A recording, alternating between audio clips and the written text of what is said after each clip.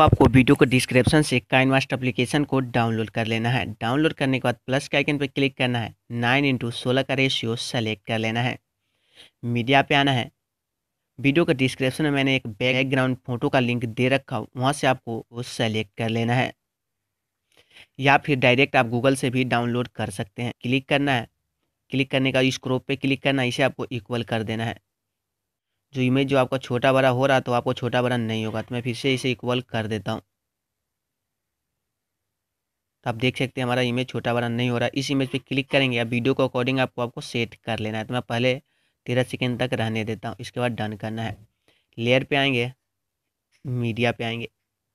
आपको एक वीडियो को ग्रीन स्क्रीन में शूट कर लेना है।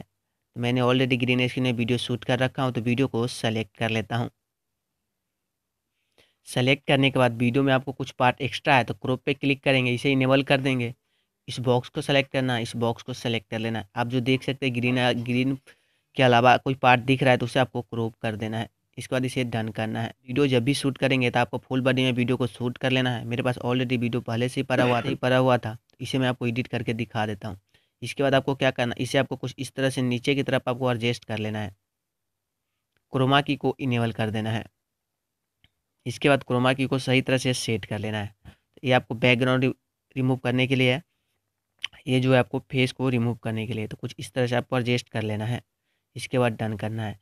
इसके बाद आपको क्या करना है? इसके बाद आपको स्टार्टिंग पॉइंट पे आना है लेयर पे आना है मीडिया पे आना है। वीडियो का डिस्क्रिप्शन में मैंने एक वीडियो का लिंक दे रखे हैं, उस वीडियो को डाउनलोड कर लेना है। इसके बाद इसे सेलेक्ट करना है। यहाँ पर आपको क्रोमा की को इनेबल कर देना है। इसके बाद डन करना है।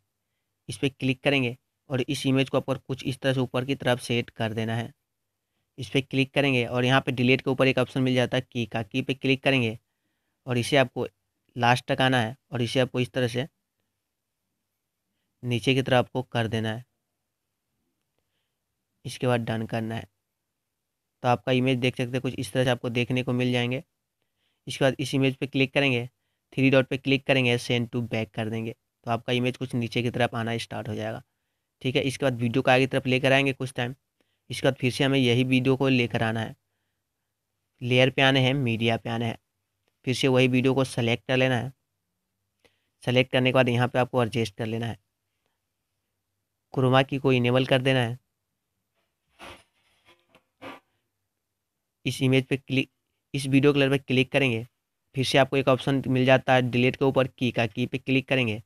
इस इस इमेज को आपको कुछ इस तरह से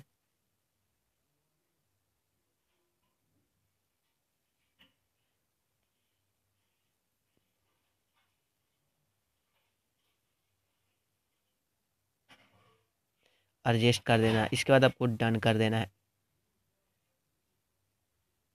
इस पर क्लिक करेंगे थ्री डॉट पर क्लिक करेंगे सेंड टू बैक कर देंगे। इसके बाद आपको जो भी एक्स्ट्रा पार्ट है एक्स्ट्रा पार्ट को ट्रिम टू राइट कर देना है। आपको यहाँ पे साउंड मैच करना है। लेयर पे आना है मीडिया पे आना है। वीडियो के डिस्क्रिप्शन में आपको एक साउंड लिंक भी दे दूँगा। वीडियो को क्लिक करना है, कर लेना है। सेलेक्ट करने के बाद कैंची के निशान पे क्लिक करना है स्ट्रेक्ट आइडियो कर देना है। इससे क्या होगा वीडियो में जो भी आइडियो होगा वो आपको बाहर आ जाएगा। वीडियो पे क्लिक करेंगे, इसे आपको डिलीट कर देना है। और आपको वीडियो को एक से दो बार प्ले कर कर साउंड को आपको मैच कर लेना है। इसके बाद एक्स्ट्रा पार्ट को ट्रिम टू राइट कर देना है। सेटिंग पे क्लिक करेंगे आइडियो फेट आउट को ऑफ़ कर देना है। शेयर पे क्लिक करेंगे और यहाँ पे आपको H D seven twenty P और थर्टी सेलेक्ट करने के बाद वीडियो को एक्सपोर्ट कर देना है। वीडियो के डिस्क्रिप्शन में आपको एक साउंड लिंक दे दूँगा, उसी वीडियो का साउंड पे आपको वीडियो को अपलोड कर देना है।